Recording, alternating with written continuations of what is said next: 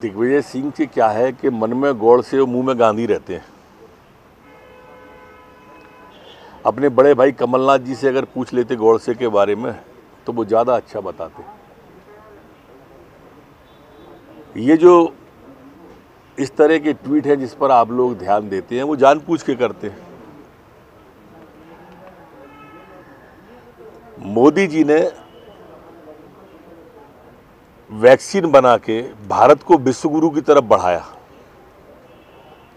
ये वैक्सीन अकेले पाकिस्तान को नहीं दे रहे, पैंसठ देशों को वैक्सीन जा रही है।